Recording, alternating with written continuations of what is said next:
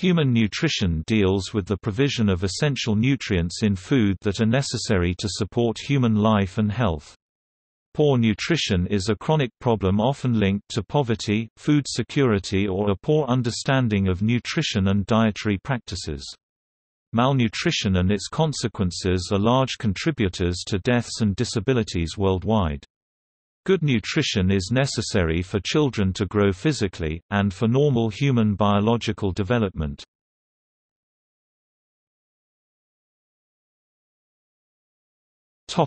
Overview The human body contains chemical compounds such as water, carbohydrates, amino acids found in proteins, fatty acids found in lipids, and nucleic acids DNA and RNA. These compounds are composed of elements such as carbon, hydrogen, oxygen, nitrogen, phosphorus.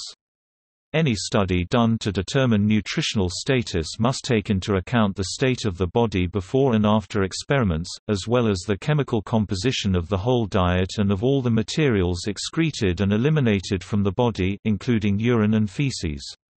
Comparing food to waste material can help determine the specific compounds and elements absorbed and metabolized by the body.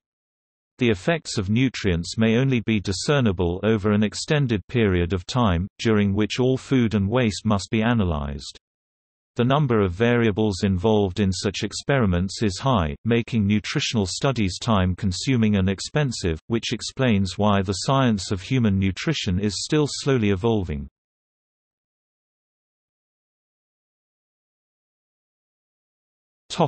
Nutrients The seven major classes of nutrients are carbohydrates, fats, fiber, minerals, proteins, vitamins, and water. These nutrient classes are categorized as either macronutrients or micronutrients needed in small quantities. The macronutrients are carbohydrates, fats, fiber, proteins, and water. The micronutrients are minerals and vitamins. The macronutrients, excluding fiber and water, provide structural material, amino acids from which proteins are built, and lipids from which cell membranes and some signaling molecules are built, and energy. Some of the structural material can also be used to generate energy internally, and in either case it is measured in joules or kilocalories, often called calories and written with a capital C to distinguish them from little c calories. Carbohydrates and proteins provide 17 kilojoules approximately 4 kilocalories of energy per gram, while fats provide 37 kilojoules 9 kilocalories per gram, though the net energy from either depends on such factors as absorption and digestive effort, which vary substantially from instance to instance. Vitamins, minerals, fiber, and water do not provide energy, but are required for other reasons. A third class of dietary material, fiber i.e., non-digestible material such as cellulose, seems also to be required, for both mechanical and biochemical reasons, though the exact reasons remain unclear. For all age groups, males need to consume higher amounts of macronutrients than females. In general, intakes increase with age until the second or third decade of life. Molecules of carbohydrates and fats consist of carbon, hydrogen, and oxygen atoms. Carbohydrates range from simple monosaccharides glucose, fructose, galactose to complex polysaccharides starch. Fats are triglycerides, made of assorted fatty acid monomers bound to a glycerol backbone. Some fatty acids, but not all, are essential in the diet, they cannot be synthesized in the body. Protein molecules contain nitrogen atoms in addition to carbon, oxygen, and hydrogen. The fundamental components of protein are nitrogen-containing amino acids, some of which are essential in the sense that humans cannot make them internally.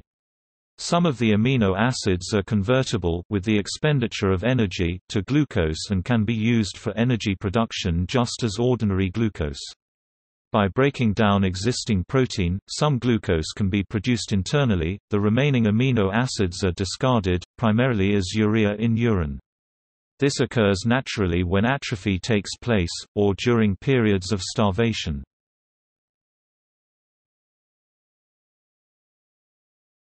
Topic: Carbohydrates. Carbohydrates may be classified as monosaccharides, disaccharides or polysaccharides depending on the number of monomer sugar units they contain. They are a diverse group of substances, with a range of chemical, physical and physiological properties. They make up a large part of foods such as rice, noodles, bread, and other grain-based products, but they are not an essential nutrient, meaning a human does not need to eat carbohydrates. The brain is the largest consumer of sugars in the human body, and uses particularly large amounts of glucose, accounting for 20% of total body glucose consumption. The brain uses mostly glucose for energy unless it is insufficient, in which case it switches to using fats. Monosaccharides contain one sugar unit, disaccharides two, and polysaccharides three or more. Monosaccharides include glucose, fructose and galactose. Disaccharides include sucrose, lactose, and maltose. Purified sucrose, for instance, is used as table sugar. Polysaccharides, which include starch and glycogen, are often referred to as complex carbohydrates because they are typically long multiple branched chains of sugar units. Simple carbohydrates are absorbed quickly, and therefore raise blood sugar levels more rapidly than other nutrients. However, the most important plant carbohydrate nutrient, starch, varies in its absorption. Gelatinized starch, starch heated for a few minutes in the presence of water is far more digestible than plain starch, and starch which has been divided into fine particles is also more absorbable during digestion. The increased effort and decreased availability reduces the available energy from starchy foods substantially and can be seen experimentally in rats and anecdotally in humans. Additionally, up to a third of dietary starch may be unavailable due to mechanical or chemical difficulty.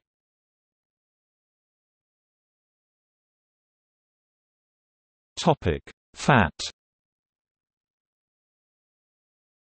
A molecule of dietary fat typically consists of several fatty acids containing long chains of carbon and hydrogen atoms, bonded to a glycerol.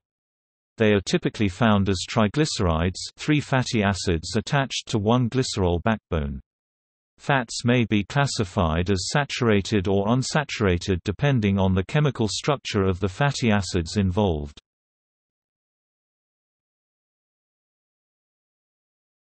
Topic: Fiber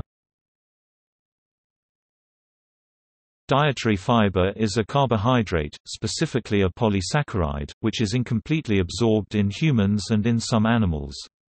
Like all carbohydrates, when it is metabolized, it can produce 4 calories, kilocalories of energy per gram, but in most circumstances, it accounts for less than that because of its limited absorption and digestibility. The two subcategories are insoluble and soluble fiber. Insoluble dietary fiber consists mainly of cellulose, a large carbohydrate polymer that is indigestible by humans, because humans do not have the required enzymes to break it down, and the human digestive system does not harbor enough of the types of microbes that can do so. Soluble dietary fiber comprises a variety of oligosaccharides, waxes, esters, resistant starches, and other carbohydrates that dissolve or gelatinize in water.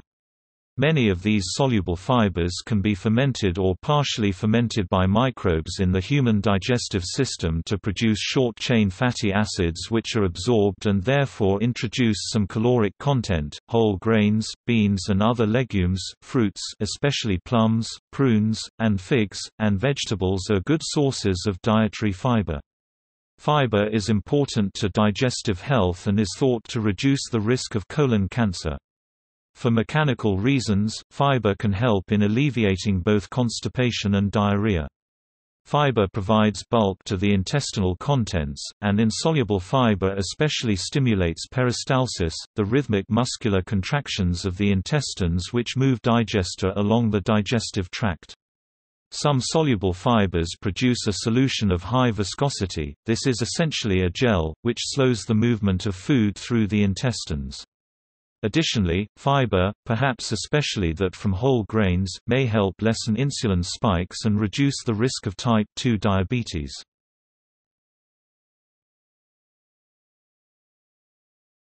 Topic: Protein. Proteins are the basis of many animal body structures e.g. muscles, skin, and hair and form the enzymes which catalyze chemical reactions throughout the body. Each protein molecule is composed of amino acids which contain nitrogen and sometimes sulfur these components are responsible for the distinctive smell of burning protein, such as the keratin in hair. The body requires amino acids to produce new proteins protein retention and to replace damaged proteins maintenance. Amino acids are soluble in the digestive juices within the small intestine, where they are absorbed into the blood. Once absorbed, they cannot be stored in the body, so they are either metabolized as required or excreted in the urine. Proteins consist of amino acids in different proportions. The most important aspect and defining characteristic of protein from a nutritional standpoint is its amino acid composition. Amino acids which an animal cannot synthesize on its own from smaller molecules are deemed essential. The synthesis of some amino acids can be limited under special pathophysiological conditions, such as prematurity in the infant or individuals in severe catabolic distress, and those are called conditionally essential. A vegetarian diet can adequately supply protein, support pregnancy, childhood, and athletic endeavors, and lower the risk of cardiovascular disease and cancer.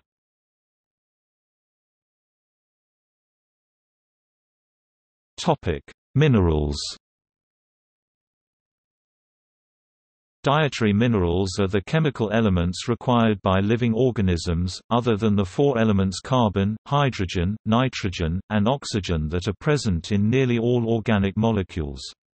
The term, mineral, is archaic, since the intent is to describe simply the less common elements in the diet. Some are heavier than the four just mentioned, including several metals, which often occur as ions in the body. Some dietitians recommend that these be supplied from foods in which they occur naturally, or at least as complex compounds, or sometimes even from natural inorganic sources such as calcium carbonate from ground oyster shells. Some are absorbed much more readily in the ionic forms found in such sources. On the other hand, minerals are often artificially added to the diet as supplements, the most well known is likely iodine in iodized salt which prevents goiter.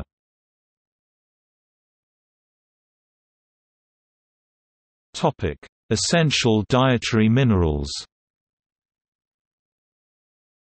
Include the following Chlorine as chloride ions, very common electrolyte, see sodium, below. Magnesium, required for processing ATP and related reactions builds bone, causes strong peristalsis, increases flexibility, increases alkalinity. Approximately 50% is in bone, the remaining 50% is almost all inside body cells, with only about 1% located in extracellular fluid. Food sources include oats, buckwheat, tofu, nuts, caviar, green leafy vegetables, legumes, and chocolate. Phosphorus, required component of bones, essential for energy processing. Approximately 80% is found in inorganic portion of bones and teeth. Phosphorus is a component of every cell, as well as important metabolites, including DNA, RNA, ATP, and phospholipids. Also important in pH regulation. Food sources include cheese, egg yolk, milk, meat, fish, poultry, whole grain cereals, and many others.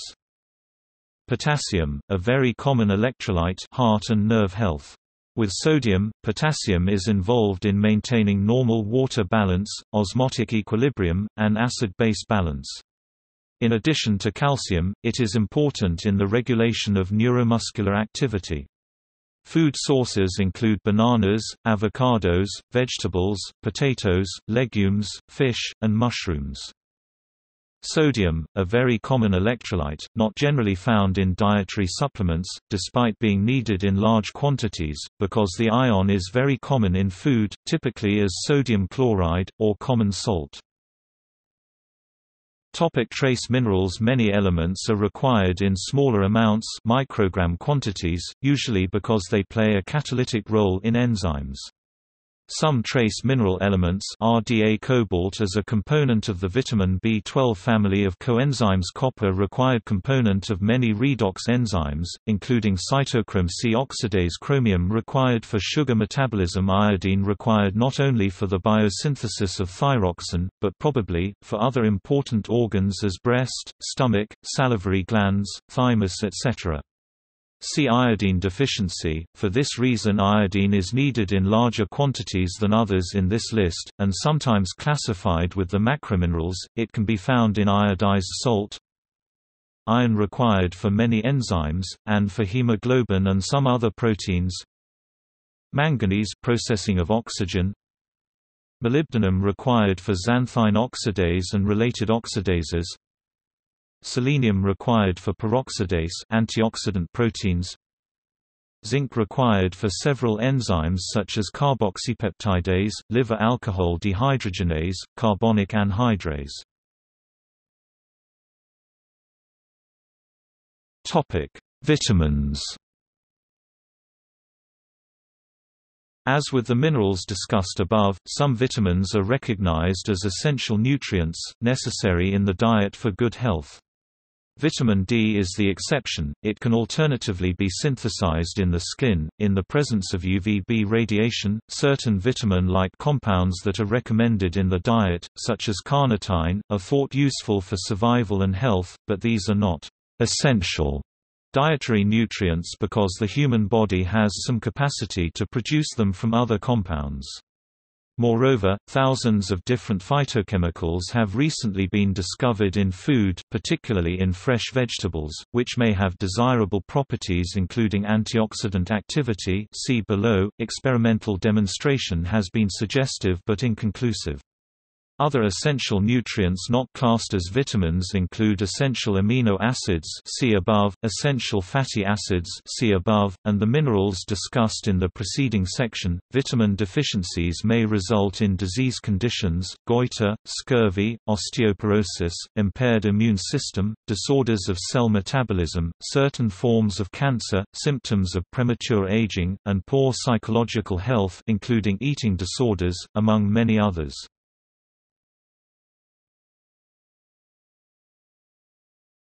Topic: Malnutrition. Malnutrition refers to insufficient, excessive, or imbalanced consumption of nutrients. In developed countries, the diseases of malnutrition are most often associated with nutritional imbalances or excessive consumption. Although there are more people in the world who are malnourished due to excessive consumption, according to the United Nations World Health Organization, the greatest challenge in developing nations today is not starvation, but insufficient nutrition, the lack of nutrients necessary for the growth and maintenance of vital functions. The causes of malnutrition are directly linked to inadequate macronutrient consumption and disease, and are indirectly linked to factors like household food security, maternal and child care, health services, and the environment.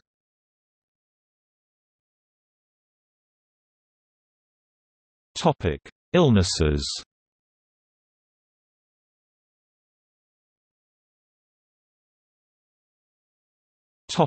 Mental agility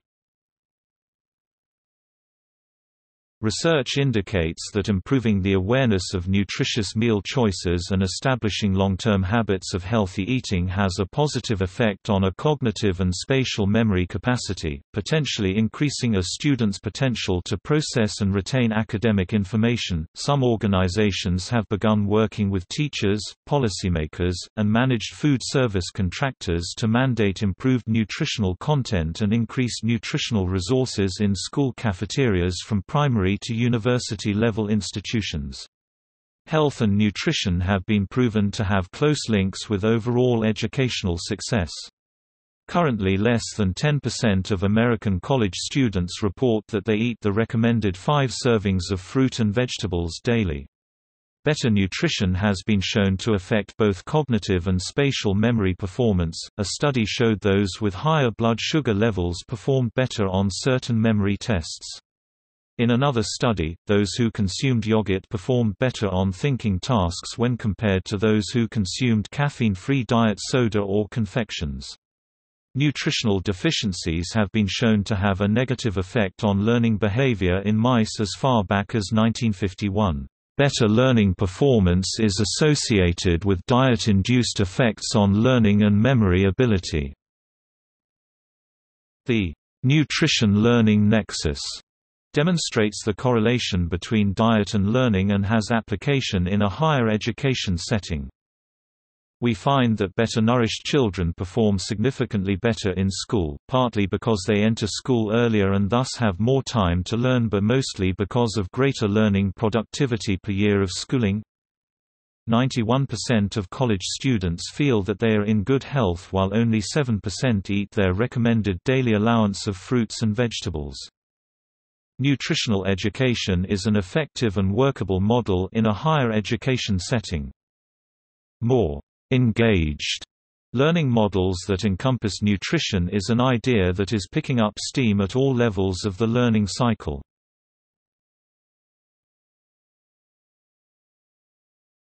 Topic: Mental disorders.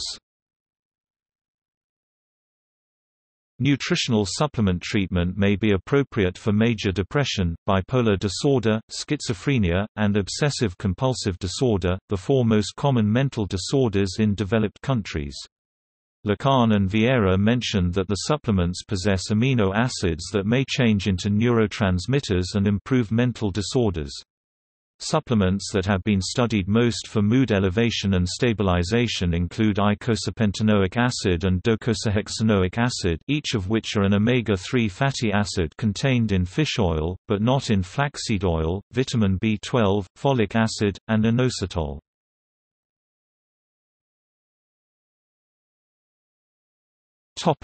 Cancer Cancer has become common in developing countries. According to a study by the International Agency for Research on Cancer, in the developing world, cancers of the liver, stomach and esophagus were more common, often linked to consumption of carcinogenic preserved foods, such as smoked or salted food, and parasitic infections that attack organs. Lung cancer rates are rising rapidly in poorer nations because of increased use of tobacco. Developed countries tended to have cancers linked to affluence or a Western lifestyle cancers of the colon, rectum, breast and prostate, that can be caused by obesity, lack of exercise, diet and age. A comprehensive worldwide report Food, Nutrition, Physical Activity and the Prevention of Cancer, A Global Perspective. Compiled by the World Cancer Research Fund and the American Institute for Cancer Research, states that there is a significant relation between lifestyle including food consumption and cancer prevention. The same report recommends eating mostly foods of plant origin and aiming to meet nutritional needs through diet alone, while limiting consumption of energy-dense foods, red meat, alcoholic drinks and salt and avoiding sugary drinks, processed meat and moldy cereals grains or pulses legumes. Protein consumption leads to an increase in IGF-1, which plays a role in cancer development.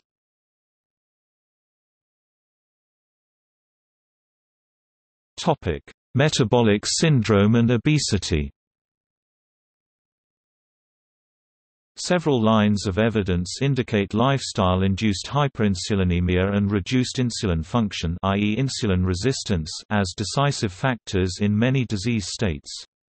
For example, hyperinsulinemia and insulin resistance are strongly linked to chronic inflammation, which in turn is strongly linked to a variety of adverse developments such as arterial microinjuries and clot formation i.e. heart disease and exaggerated cell division i.e. cancer. Hyperinsulinemia and insulin resistance the so-called metabolic syndrome are characterized by a combination of abdominal obesity, elevated blood sugar, elevated blood pressure, elevated blood triglycerides, and reduced HDL cholesterol. Obesity can unfavorably alter hormonal and metabolic status via resistance to the hormone leptin, and a vicious cycle may occur in which insulin, leptin resistance and obesity aggravate one another. The vicious cycle is putatively fueled by continuously high insulin, leptin stimulation and fat storage, as a result of high intake of strongly insulin, leptin-stimulating foods and energy.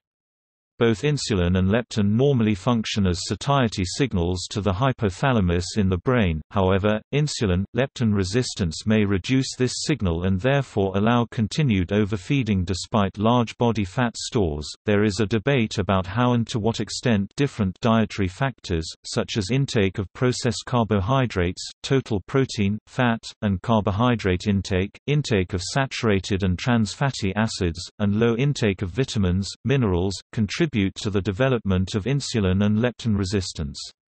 Evidence indicates that diets possibly protective against metabolic syndrome include low saturated and trans fat intake and foods rich in dietary fiber, such as high consumption of fruits and vegetables and moderate intake of low-fat dairy products.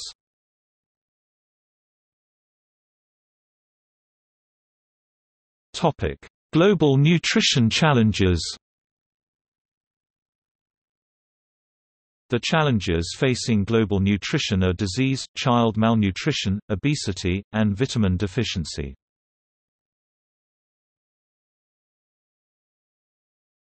Topic: Disease The most common non-infectious diseases worldwide, that contribute most to the global mortality rate, are cardiovascular diseases, various cancers, diabetes, and chronic respiratory problems, all of which are linked to poor nutrition. Nutrition and diet are closely associated with the leading causes of death, including cardiovascular disease and cancer. Obesity and high sodium intake can contribute to ischemic heart disease, while consumption of fruits and vegetables can decrease the risk of developing cancer. Food-borne and infectious diseases can result in malnutrition, and malnutrition exacerbates infectious disease. Poor nutrition leaves children and adults more susceptible to contracting life-threatening diseases such as diarrheal infections and respiratory infections. According to The WHO, in 2011, 6.9 million children died of infectious diseases like pneumonia, diarrhea, malaria, and neonatal conditions, of which at least one-third were associated with undernutrition.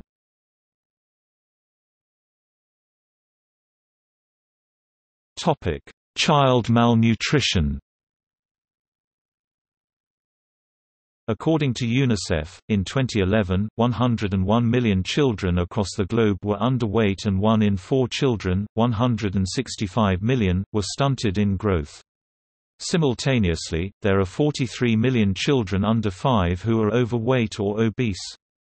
Nearly 20 million children under 5 suffer from severe acute malnutrition, a life-threatening condition requiring urgent treatment. According to estimations at UNICEF, hunger will be responsible for 5.6 million deaths of children under the age of 5 this year. These all represent significant public health emergencies.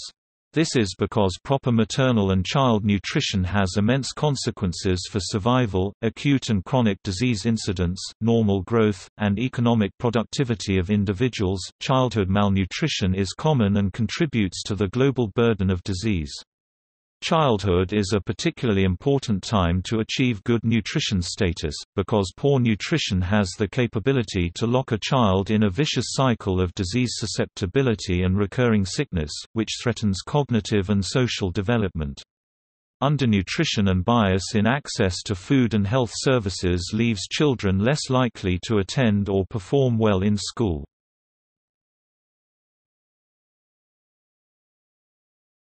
Topic: Undernutrition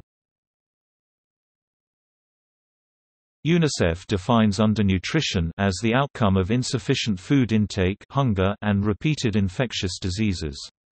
Undernutrition includes being underweight for one's age, too short for one's age stunted, dangerously thin wasted, and deficient in vitamins and minerals micronutrient malnutrient.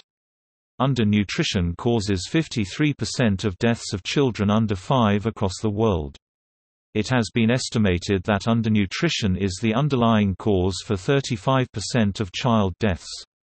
The Maternal and Child Nutrition Study Group estimate that undernutrition, including fetal growth restriction, stunting, wasting, deficiencies of vitamin A and zinc along with suboptimum breastfeeding is a cause of 3.1 million child deaths and infant mortality, or 45% of all child deaths in 2011. When humans are undernourished, they no longer maintain normal bodily functions, such as growth, resistance to infection, or have satisfactory performance in school school or work. Major causes of undernutrition in young children include lack of proper breastfeeding for infants and illnesses such as diarrhea, pneumonia, malaria, and HIV, AIDS. According to UNICEF 146 million children across the globe, that one out of four under the age of five, are underweight. The amount of underweight children has decreased since 1990, from 33% to 28% between 1990 and 2004. Underweight and stunted children are more susceptible to infection, more likely to fall behind in school, more likely to become overweight and develop non-infectious diseases, and ultimately earn less than their non-stunted coworkers. Therefore, undernutrition can accumulate deficiencies in health which results in less productive individuals and societies Many children are born with the inherent disadvantage of low birth weight, often caused by intrauterine growth restriction and poor maternal nutrition, which results in worse growth, development, and health throughout the course of their lifetime. Children born at low birth weight less than 5.5 pounds or 2.5 kilograms, are less likely to be healthy and are more susceptible to disease and early death. Those born at low birth weight also are likely to have a depressed immune system, which can increase their chances of heart disease and diabetes later on in life. Because 96% of low birth weight occurs in the developing world, low birth weight is associated with being born to a mother in poverty with poor nutritional status that has had to perform demanding labor. Stunting and other forms of undernutrition reduces a child's chance of survival and hinders their optimal growth and health.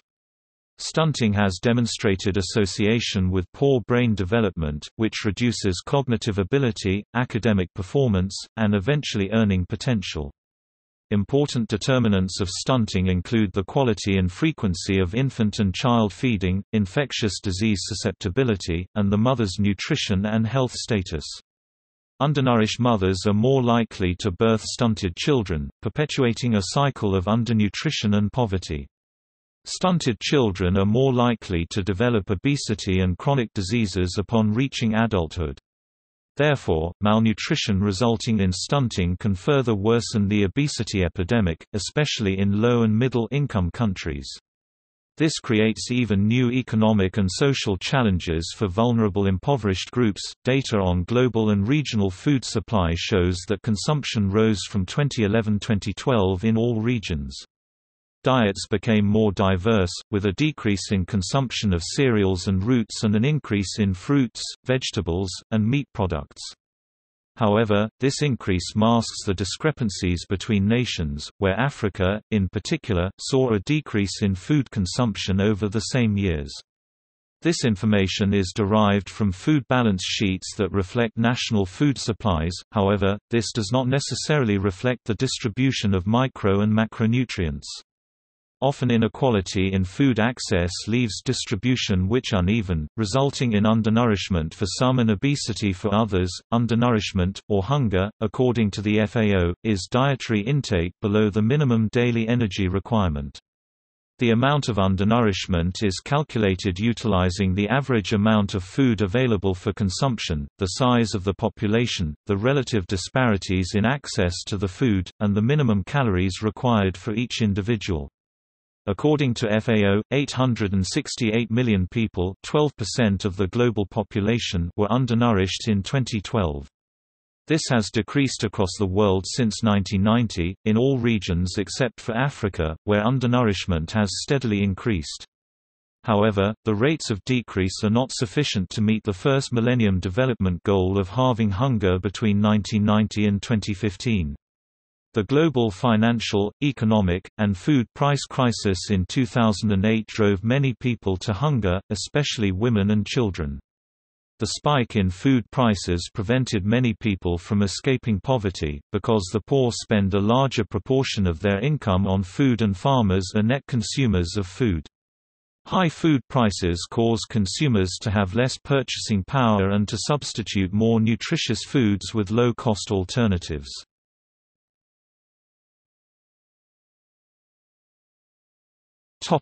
Adult overweight and obesity Malnutrition in industrialized nations is primarily due to excess calories and non-nutritious carbohydrates, which has contributed to the obesity epidemic affecting both developed and some developing nations.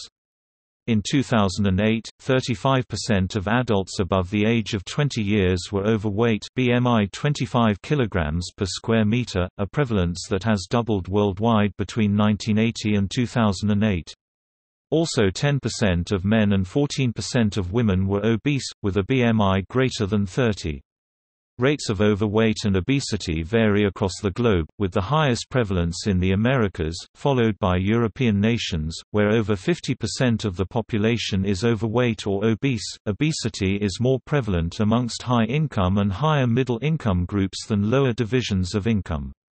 Women are more likely than men to be obese, where the rate of obesity in women doubled from 8% to 14% between 1980 and 2008. Being overweight as a child has become an increasingly important indicator for later development of obesity and non-infectious diseases such as heart disease. In several Western European nations, the prevalence of overweight and obese children rose by 10% from 1980 to 1990, a rate that has begun to accelerate recently.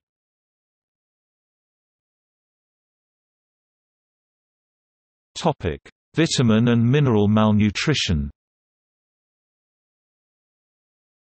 Vitamins and minerals are essential to the proper functioning and maintenance of the human body. Globally, particularly in developing nations, deficiencies in iodine, iron, and zinc among others are said to impair human health when these minerals are not ingested in an adequate quantity.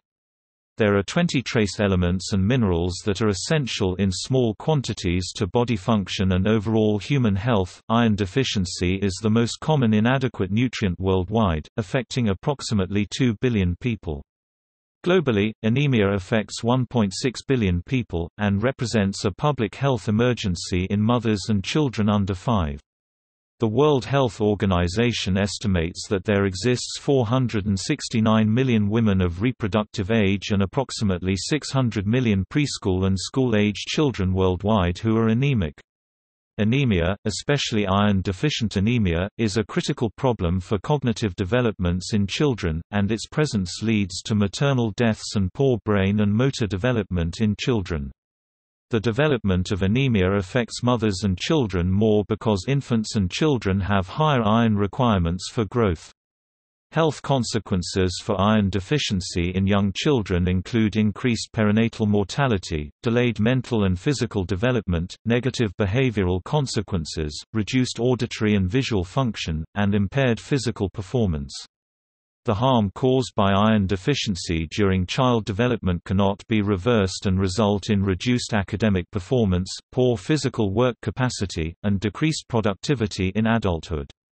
Mothers are also very susceptible to iron-deficient anemia because women lose iron during menstruation, and rarely supplement it in their diet. Maternal iron deficiency anemia increases the chances of maternal mortality, contributing to at least 18% of maternal deaths in low and middle income countries. Vitamin A plays an essential role in developing the immune system in children, therefore, it is considered an essential micronutrient that can greatly affect health. However, because of the expense of testing for deficiencies, many developing nations have not been able to fully detect and address vitamin A deficiency, leaving vitamin A deficiency considered a silent hunger. According to estimates, subclinical vitamin A deficiency, characterized by low retinol levels, affects 190 million preschool children and 19 million mothers worldwide. The WHO estimates that 5.2 million of these children under 5 are affected by night blindness, which is considered clinical vitamin A deficiency. Severe vitamin A deficiency for developing children can result in visual impairments, anemia and weakened immunity, and increase their risk of morbidity and mortality from infectious disease. This also presents a problem for women, with WHO estimating that 9.8 million women are affected by night blindness. Clinical vitamin A deficiency is particularly common among pregnant women, with prevalence rates as high as 9.8% in Southeast Asia. Estimates say that 28.5% of the global population is iodine deficient, representing 1.88 billion individuals. Although salt iodization programs have reduced the prevalence of iodine deficiency, this is still a public health concern in 32 nations. Moderate deficiencies are common in Europe and Africa, and overconsumption is common in the Americas. Iodine-deficient diets can interfere with adequate thyroid hormone production, which is responsible for normal growth in the brain and nervous system. This ultimately leads to poor school performance and impaired intellectual capabilities.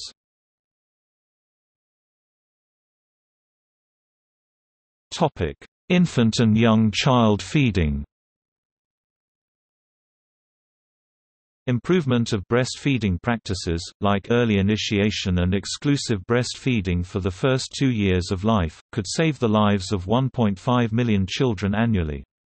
Nutrition interventions targeted at infants aged 0 to 5 months first encourages early initiation of breastfeeding. Though the relationship between early initiation of breastfeeding and improved health outcomes has not been formally established, a recent study in Ghana suggests a causal relationship between early initiation and reduced infection-caused neonatal deaths.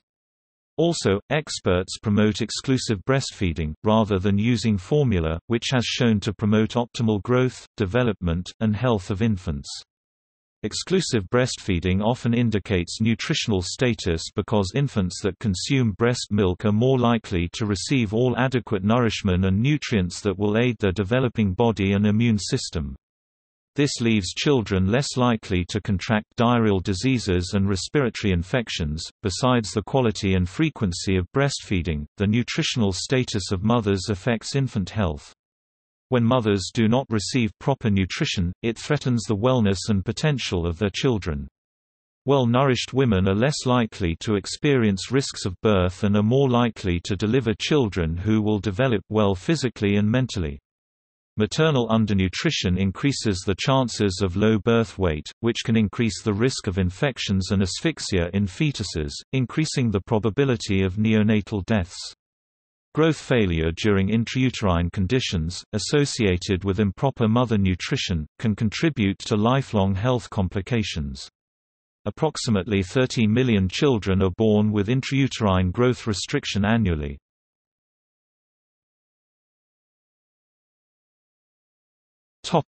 International food insecurity and malnutrition According to UNICEF, South Asia has the highest levels of underweight children under 5, followed by sub-Saharan African nations, with industrialized countries and Latin nations having the lowest rates.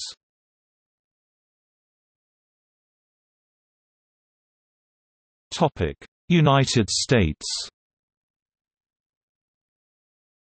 In the United States, 2% of children are underweight, with under 1% stunted and 6% are wasting. In the U.S., dietitians are registered RD or licensed LD with the Commission for Dietetic Registration and the American Dietetic Association, and are only able to use the title, dietitian as described by the business and professions codes of each respective state, when they have met specific educational and experiential prerequisites and passed a national registration or licensure examination, respectively. Anyone may call themselves a nutritionist, including unqualified dietitians, as this term is unregulated. Some states, such as the state of Florida, have begun to include the title, nutritionist in state licensure requirements. Most governments provide guidance on nutrition, and some also impose mandatory disclosure, labeling requirements for processed food manufacturers and restaurants to assist consumers in complying with such guidance. In the U.S., nutritional standards and recommendations are established jointly by the U.S. Department of Agriculture and U.S. Department of Health and Human Services.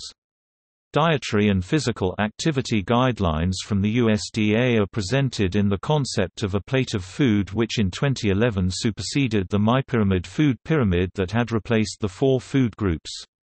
The Senate committee currently responsible for oversight of the USDA is the Agriculture, Nutrition and Forestry Committee. Committee hearings are often televised on C-SPAN.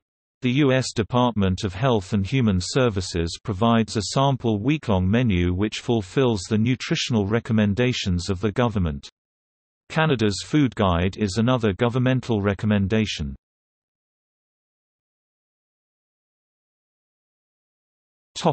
Industrialized countries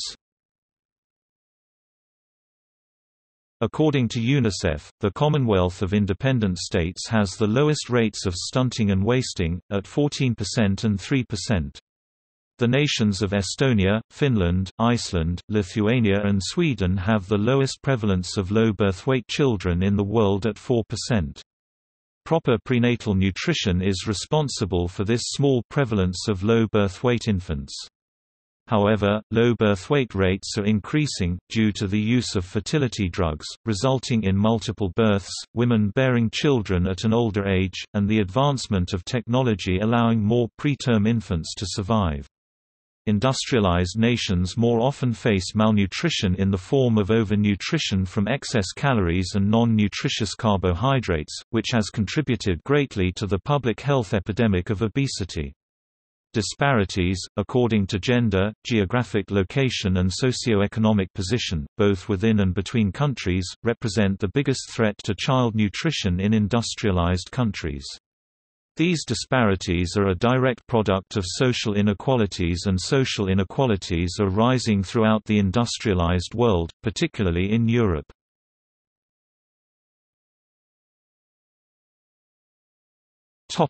South Asia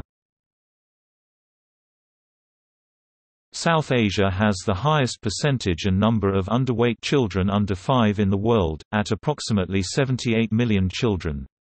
Patterns of stunting and wasting are similar, where 44% have not reached optimal height and 15% are wasted, rates much higher than any other regions. This region of the world has extremely high rates of underweight children. According to a 2006 UNICEF study, 46% of its child population under 5 is underweight. The same study indicates India, Bangladesh, and Pakistan combined account for half the globe's underweight child population.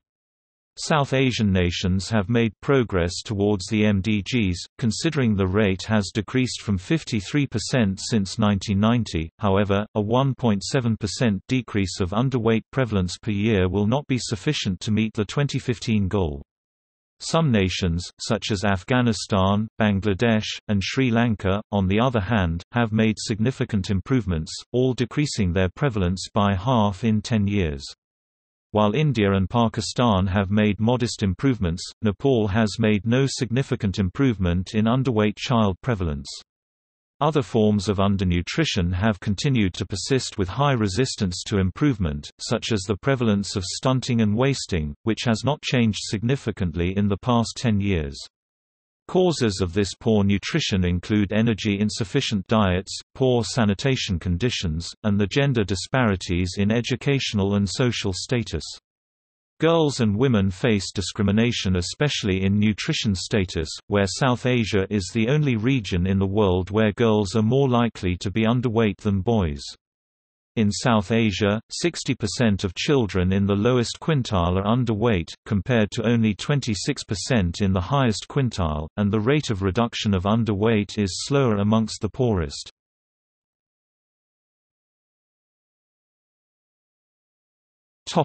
Eastern, South Africa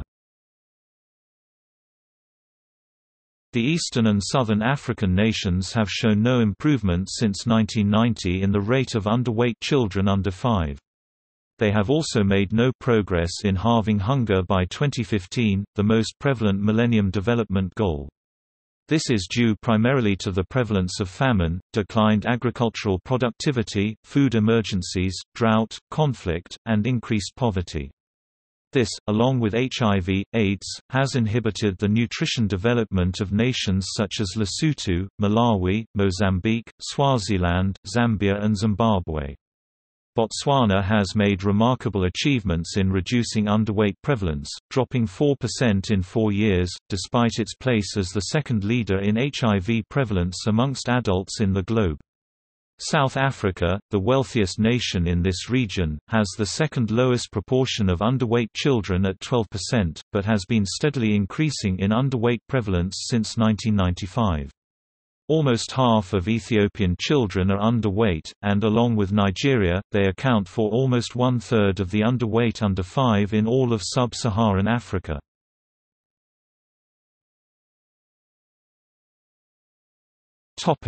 West, Central Africa West, Central Africa has the highest rate of children under 5 underweight in the world. Of the countries in this region, the Congo has the lowest rate at 14%, while the nations of Democratic Republic of the Congo, Ghana, Guinea, Mali, Nigeria, Senegal and Togo are improving slowly. In Gambia, rates decreased from 26% to 17% in four years, and their coverage of vitamin A supplementation reaches 91% of vulnerable populations. This region has the next highest proportion of wasted children, with 10% of the population under 5 not at optimal weight. Little improvement has been made between the years of 1990 and 2004 in reducing the rates of underweight children under 5, whose rate stayed approximately the same. Sierra Leone has the highest child under 5 mortality rate in the world, due predominantly to its extreme infant mortality rate, at 238 deaths per 1,000 live births. Other contributing factors include the high rate of low birth weight children 23% and low levels of exclusive breastfeeding 4%. Anemia is prevalent in these nations, with unacceptable rates of iron-deficient anemia. The nutritional status of children is further indicated by its high rate of child wasting 10%. Wasting is a significant problem in Sahelian countries, Burkina Faso, Chad, Mali, Mauritania and Niger, where rates fall between 11% and 19% of under fives, affecting more than 1 million children.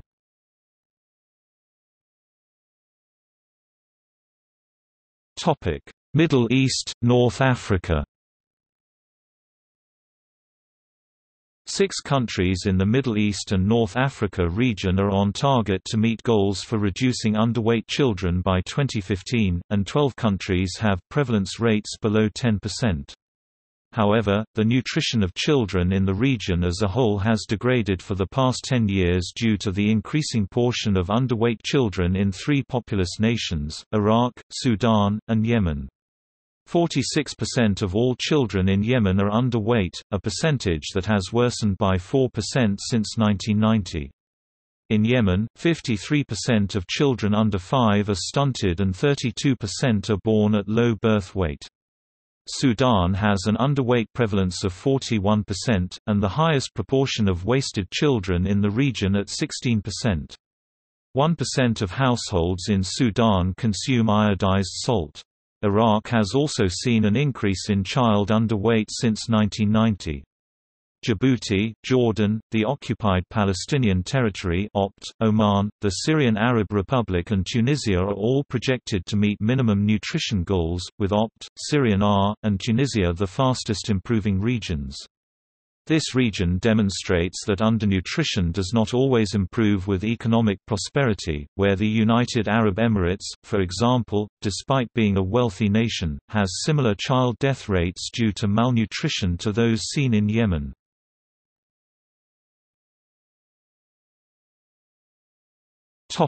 East Asia, Pacific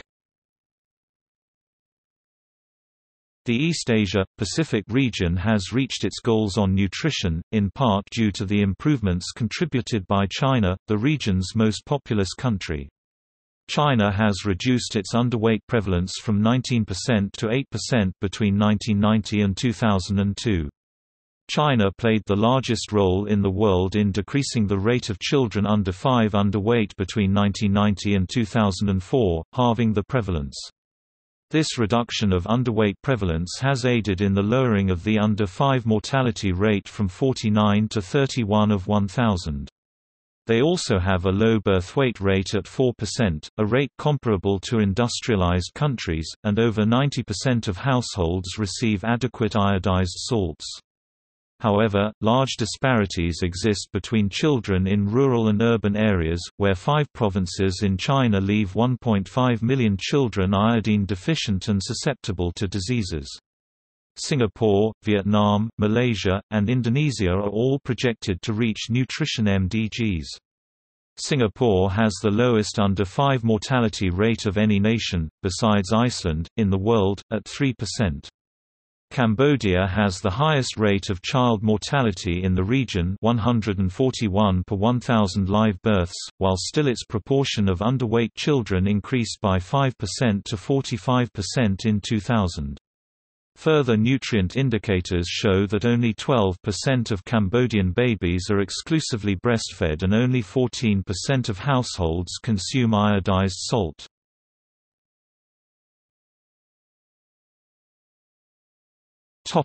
Latin America, Caribbean This region has undergone the fastest progress in decreasing poor nutrition status of children in the world. The Latin American region has reduced underweight children prevalence by 3.8% every year between 1990 and 2004, with a current rate of 7% underweight. They also have the lowest rate of child mortality in the developing world, with only 31 per 1,000 deaths, and the highest iodine consumption. Cuba has seen improvement from 9 to 4% underweight under 5 between 1996 and 2004. The prevalence has also decreased in the Dominican Republic, Jamaica, Peru, and Chile. Chile has a rate of underweight under 5, at merely 1%. The most populous nations, Brazil and Mexico, mostly have relatively low rates of underweight under 5, with only 6% and 8%. Guatemala has the highest percentage of underweight and stunted children in the region, with rates above 45%. There are disparities amongst different populations in this region. For example, children in rural areas have twice the prevalence of underweight at 13%, compared to urban areas at 5%.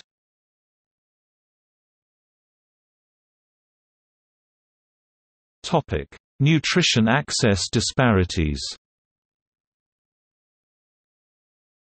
Occurring throughout the world, lack of proper nutrition is both a consequence and cause of poverty.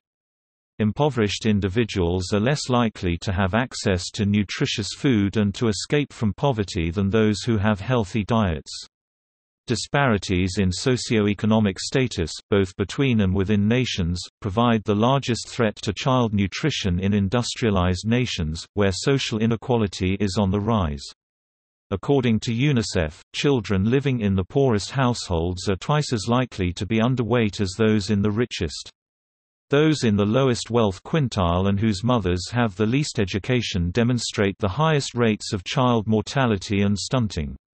Throughout the developing world, socioeconomic inequality in childhood malnutrition is more severe than in upper income brackets, regardless of the general rate of malnutrition. Concurrently, the greatest increase in childhood obesity has been seen in the lower middle income bracket. According to UNICEF, children in rural locations are more than twice as likely to be underweight as compared to children under 5 in urban areas. In Latin American, Caribbean nations, children living in rural areas in Bolivia, Honduras, Mexico and Nicaragua are more than twice as likely to be underweight as children living in urban areas. That likelihood doubles to four times in Peru. In the United States, the incidence of low birth weight is on the rise among all populations, but particularly among minorities. According to UNICEF, boys and girls have almost identical rates as underweight children under age 5 across the world, except in South Asia.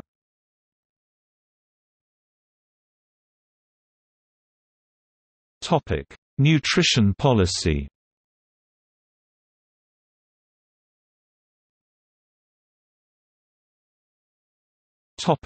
Nutrition interventions Nutrition directly influences progress towards meeting the Millennium Goals of eradicating hunger and poverty through health and education. Therefore, nutrition interventions take a multifaceted approach to improve the nutrition status of various populations. Policy and programming must target both individual behavioral changes and policy approaches to public health. While most nutrition interventions focus on delivery through the health sector, non-health sector interventions targeting agriculture, water and sanitation, and education are important as well.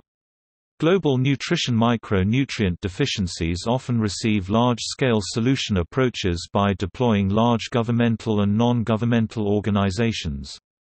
For example, in 1990, iodine deficiency was particularly prevalent, with 1 in 5 households, or 1.7 billion people, not consuming adequate iodine, leaving them at risk to develop associated diseases. Therefore, a global campaign to iodize salt to eliminate iodine deficiency successfully boosted the rate to 69% of households in the world consuming adequate amounts of iodine. Emergencies and crises often exacerbate undernutrition, due to the aftermath of crises that include food insecurity, poor health resources, unhealthy environments, and poor healthcare practices. Therefore, the repercussions of natural disasters and other emergencies can exponentially increase the rates of macro and micronutrient deficiencies in populations. Disaster relief interventions often take a multifaceted public health approach. UNICEF's programming targeting nutrition services amongst disaster settings include nutrition assessments, measles immunization, vitamin A supplementation, provision of fortified foods and micronutrient supplements, support for breastfeeding and complementary feeding for infants and young children, and therapeutic and supplementary feeding. For example, during Nigeria's food crisis of 2005, 300,000 children received therapeutic nutrition feeding programs through the collaboration of UNICEF, the Niger government, the World Food Programme, and 24 NGOs utilizing community and facility-based feeding schemes. Interventions aimed at pregnant women, infants, and children take a behavioral and program-based approach. Behavioral intervention objectives include promoting proper breastfeeding, the immediate initiation of breastfeeding, and its continuation through two years and beyond. UNICEF recognizes that to promote these behaviors, healthful environments must be established conducive to promoting these behaviors, like healthy hospital environments, skilled health workers, support in the public and workplace, and removing negative influences. Finally, other interventions include provisions of adequate micro and macronutrients such as iron, anemia, and vitamin A supplements and vitamin-fortified foods and ready-to-use products. Programs addressing micronutrient deficiencies, such as those aimed at anemia, have attempted to provide iron supplementation to pregnant and lactating women. However, because supplementation often occurs too late, these programs have had little effect. Interventions such as women's nutrition, early and exclusive breastfeeding, appropriate complementary food and micronutrient supplementation have proven to reduce stunting and other manifestations of undernutrition. A Cochrane review of community-based maternal health packages showed that this community-based approach improved the initiation of breastfeeding within one hour of birth. Some programs have had adverse effects. One example is the Formula for Oil relief program in Iraq, which resulted in the replacement of breastfeeding for formula, which has negatively affected infant nutrition.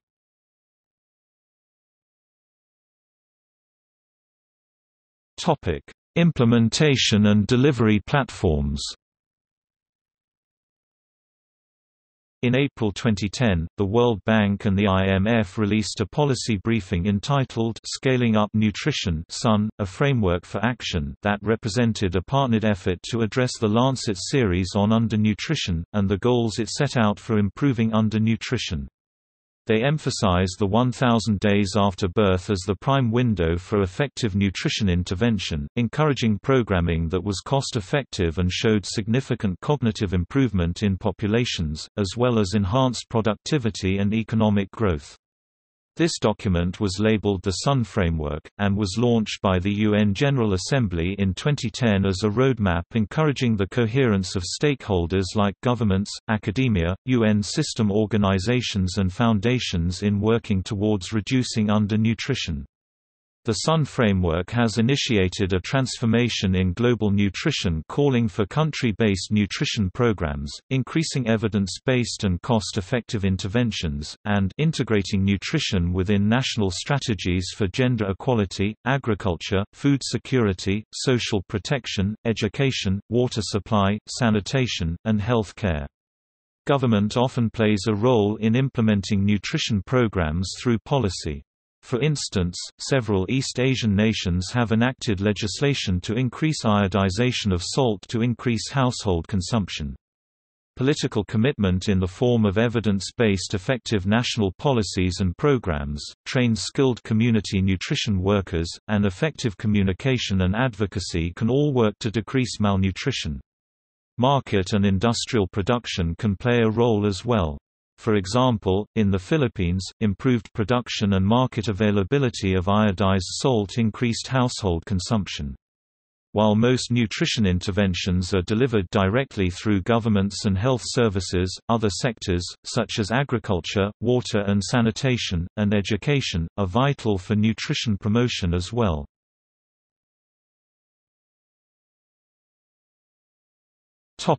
Nutrition education Nutrition is taught in schools in many countries. In England and Wales the personal and social education and food technology curricula include nutrition, stressing the importance of a balanced diet and teaching how to read nutrition labels on packaging. In many schools a nutrition class will fall within the family and consumer science or health departments. In some American schools, students are required to take a certain number of FCS or health-related classes. Nutrition is offered at many schools, and if it is not a class of its own, nutrition is included in other FCS or health classes such as, life skills, independent living, single survival, freshman connection, health etc. In many nutrition classes, students learn about the food groups, the food pyramid, daily recommended allowances, calories, vitamins, minerals, malnutrition, physical activity, healthy food choices and how to live a healthy life. A 1985 U.S. National Research Council report entitled Nutrition Education in U.S. Medical Schools concluded that nutrition education in medical schools was inadequate. Only 20% of the schools surveyed taught nutrition as a separate, required course. A 2006 survey found that this number had risen to 30%.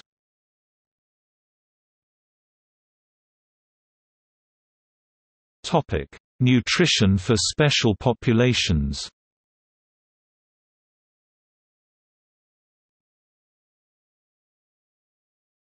Topic: Sports nutrition.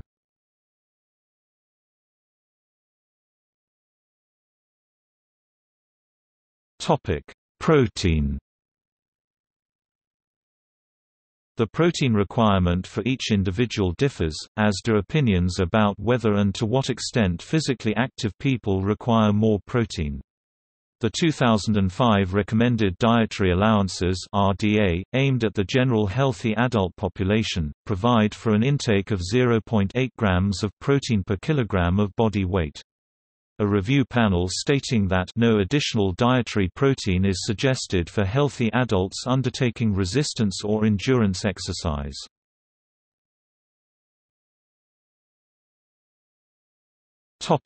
Carbohydrates. The main fuel used by the body during exercise is carbohydrates, which is stored in muscle as glycogen, a form of sugar. During exercise, muscle glycogen reserves can be used up, especially when activities last longer than 90 minutes. Because the amount of glycogen stored in the body is limited, it is important for athletes participating in endurance sports such as marathons to consume carbohydrates during their events.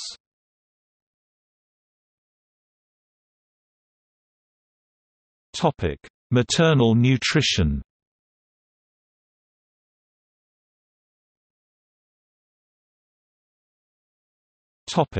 Pediatric nutrition Adequate nutrition is essential for the growth of children from infancy right through until adolescence. Some nutrients are specifically required for growth on top of nutrients required for normal body maintenance, in particular calcium and iron.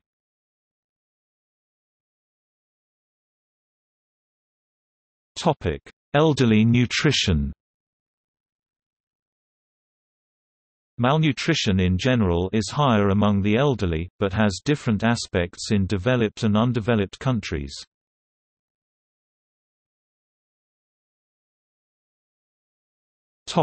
History Humans have evolved as omnivorous hunter-gatherers over the past 250,000 years. The diet of early modern humans varied significantly depending on location and climate. The diet in the tropics tended to depend more heavily on plant foods, while the diet at higher latitudes tended more towards animal products. Analyses of post-cranial and cranial remains of humans and animals from the Neolithic, along with detailed bone modification studies, have shown that cannibalism also occurred among prehistoric humans. Agriculture developed about 10,000 years ago in multiple locations throughout the world, providing grains such as wheat, rice and maize and potatoes, and originating staples such as bread and pasta dough, and tortillas. Farming also provided milk and dairy products, and sharply increased the availability of meats and the diversity of vegetables. The importance of food purity was recognized when bulk storage led to infestation and contamination risks. Cooking developed as an often ritualistic activity, due to efficiency and reliability concerns requiring adherence to strict recipes and procedures, and in response to demands for food purity and consistency.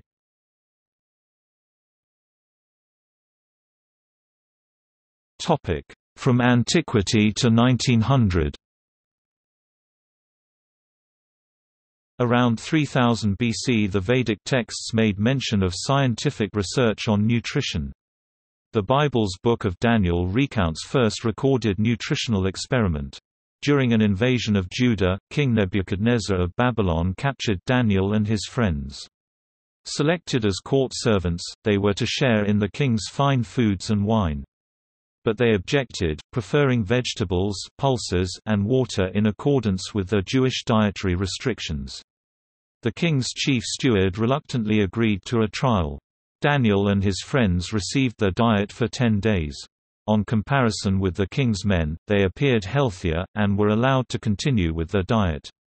Around 475 BC, Anaxagoras stated that food is absorbed by the human body and therefore contained homeomerics generative components, suggesting the existence of nutrients. Around 400 BC, Hippocrates said, let food be your medicine and medicine be your food. The 16th-century scientist and artist Leonardo da Vinci (1452–1519) compared metabolism to a burning candle. In 1747 Dr. James Lind, a physician in the British Navy, performed the first attested scientific nutrition experiment, discovering that lime juice saved sailors who had been at sea for years from scurvy, a deadly and painful bleeding disorder. The discovery was ignored for 40 years, but after about 1850 British sailors became known as limeys.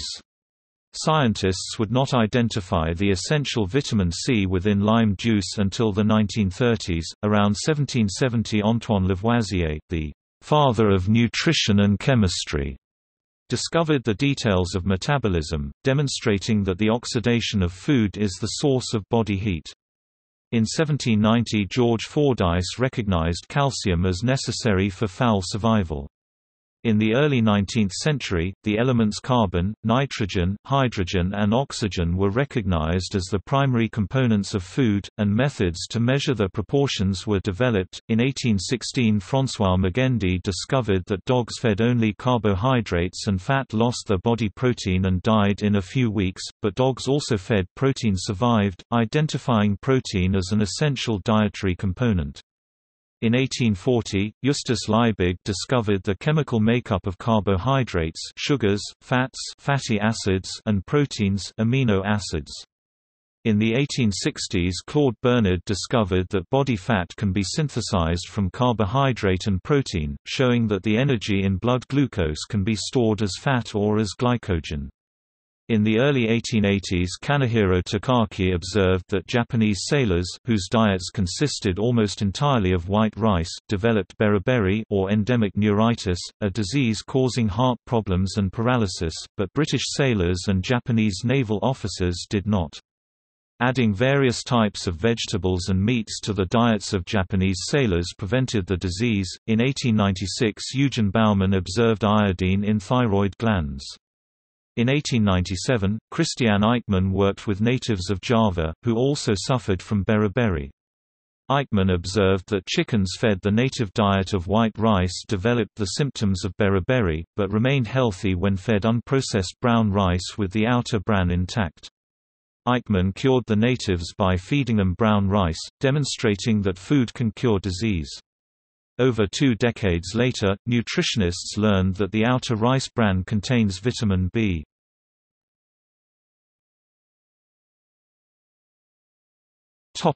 From 1900 to the present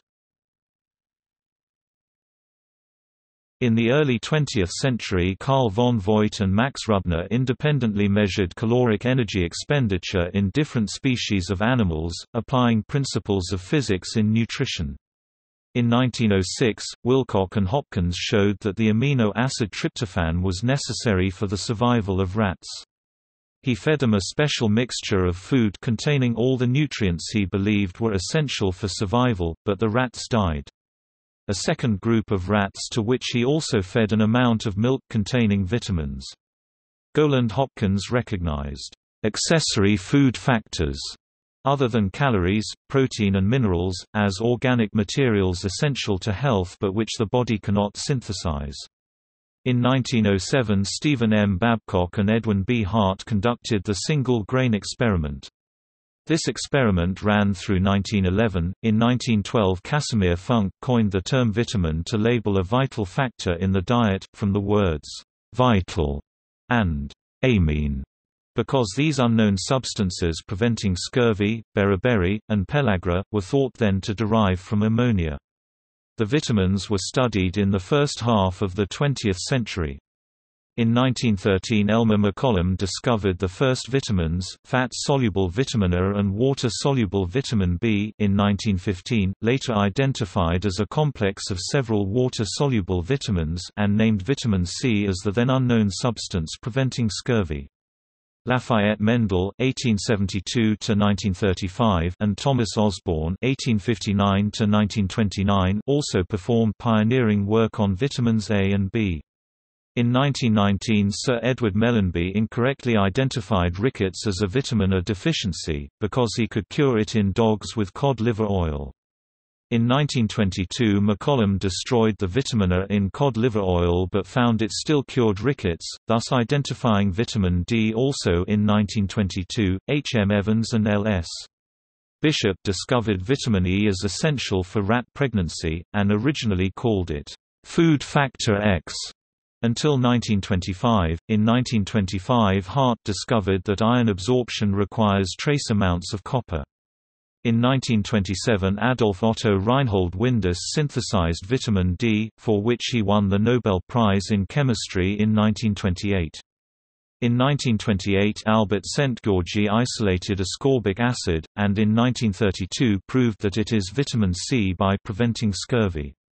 In 1935 he synthesized it, and in 1937 won a Nobel Prize for his efforts. Szent-Györgyi concurrently elucidated much of the citric acid cycle. In the 1930s William Cumming Rose identified essential amino acids, necessary protein components which the body cannot synthesize. In 1935 Eric Underwood and Hedley Marston independently discovered the necessity of cobalt. In 1936 Eugene Floyd Dubois showed that work and school performance relate to caloric intake. In 1938 Erhard Fernholz discovered the chemical structure of vitamin E. It was synthesized by Paul Karrer (1889–1971). From 1940, rationing in the United Kingdom during and after World War II took place according to nutritional principles drawn up by Elsie Widdowson and others. In 1941 the National Research Council established the first recommended dietary allowances RDAs. In 1992 the U.S. Department of Agriculture introduced the Food Guide Pyramid. In 2002 a natural justice study showed a relation between nutrition and violent behavior. In 2005 a study found that in addition to bad nutrition, adenovirus may cause obesity.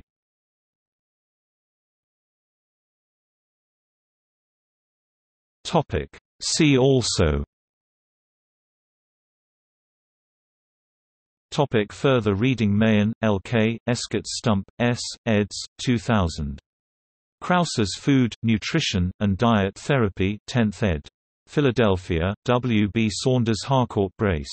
ISBN 978-0-7216-7904-4.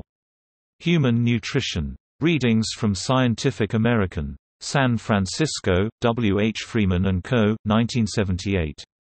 ISBN 978-0-7167-0183-5. Thiollet, J. P. 2001. Vitamins and Minero. Paris, Anagram. Willett, Walter C., Stampfer, Meir J. 2003.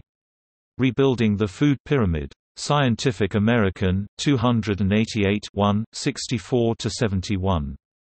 Bibcode 2003 SciAm 288A 64W DOI 10.1038 Scientific American 0103 64 PMID 12506426